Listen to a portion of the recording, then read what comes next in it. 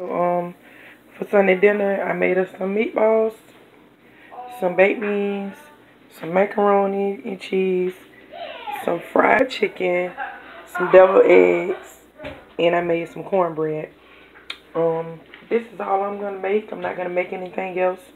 Um, we already have two meats, which are meatballs and um fried chicken.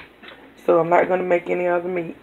And I believe that's enough vegetables, um, the macaroni and the baked beans, and the um, deviled eggs, which my daughter's picking it too.